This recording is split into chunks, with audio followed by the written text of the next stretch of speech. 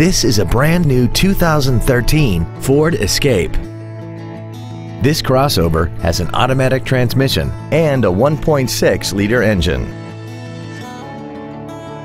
Call or visit us right now and arrange your test drive today.